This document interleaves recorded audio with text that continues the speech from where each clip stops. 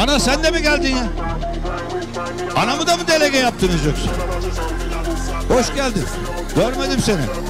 Tamam. Anam da partili olmuş.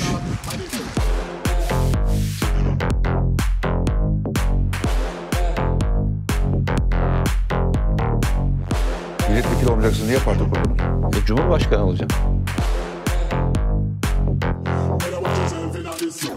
Fakat artık ümit yetmiyor bana. Şarkı söylemek istiyorum diyor. Şarkı söylemek istiyorum. Yine yaşayacaklar.